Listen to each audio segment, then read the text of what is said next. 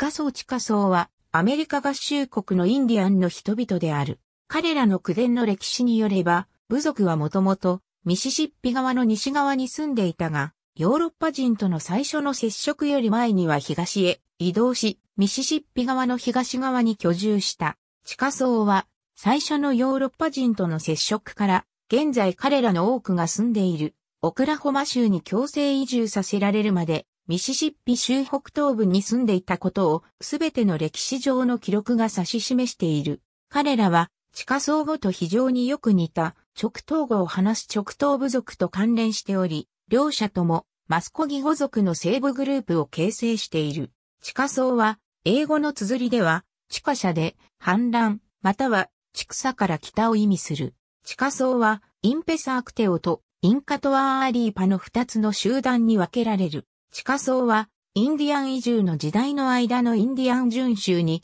強制移住させられた文明化後部族の一つである。地下層ネーションはアメリカ合衆国で13番目に大きい連邦、承認部族である。地下層の起源は不確かである。ヨーロッパ人が最初に彼らに遭遇した時、地下層は現在のミシシッピ州やサウスカロライナ州に住んでいた。おそらく前史時代のミシシッピ文化の末裔のインディアンではないかとされている。彼らの交渉の歴史はこれを支持し、彼らが前史時代にミシシッピの西から直東部族と共に移住したことを示している。最初のヨーロッパ人と地下層との接触は1540年の時で、スペインの探検家、エルナンド・デ・ソトが地下層遭遇し、現在のミシシッピ州トゥペロ近郊の彼らのコミュニティの一つに泊まった。その後様々な食い違いがあり、地下層はデソトの遠征隊を夜間に襲撃し、遠征隊をほぼ壊滅させて、スペイン人を立ち退かせた。1670年にカロライナ植民地が創設された後、地下層はイギリスと交易を開始した。イギリスから供給された銃で地下層は彼らの敵である直頭を襲い、直頭を捕まえて奴隷として売った。この習慣は直頭がフランスから銃を入手した時に一度止んだ。18世紀の地下層は7年戦争の後にフランスが地域の領有の主張を諦めるまで1736年5月26日の部族の大部分は1830年代にインディアン準州に移住させられた。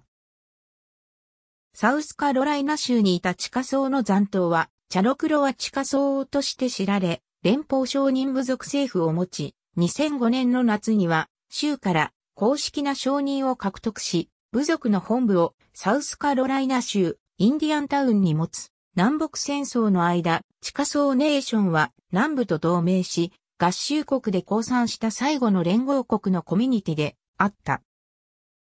地下層ネーション政府はオクラホマ州ティショミン語にあった。3番目の政府庁舎は、地下層ネーションに再返還を要求される最近まで、ジョンストン軍の軍庁舎として使用されていた。現在の建築物は、ビクトリア朝ゴシックのスタイルで、赤い花崗岩で建設されて、ティショミン語に位置している。政府の業務の大部分は、本部の間で管理されている。パッショファは、豚肉と一緒に茹でた引き割り白トウモロコシで今も食されるメインディッシュである。豚はアメリカ大陸にあった種ではないが、デソト体験体から逃れて野生化した。オビオンは地下層インディアンの名前で多くの分岐のある川を意味する。設備後のミンゴは族長を特定するのに使用される。例えば、ティショミンゴは有名な地下層の州長の名前である。ミシシッピ州ティショミンゴの町、ミシシッピ州ティショミンゴ郡は、オクラホマ州ティショミンゴの町と同様に、彼にちなんで名付けられた。サウスカロライナのブラックミンゴクリークは、狩猟の保護地域としてその周りの土地を支配していた植民地の地下層の州長にちなんで名付けられた。時々、ミンコと綴られるが、これは一般的により古い文学作品の引用に現れる。ありがとうございます。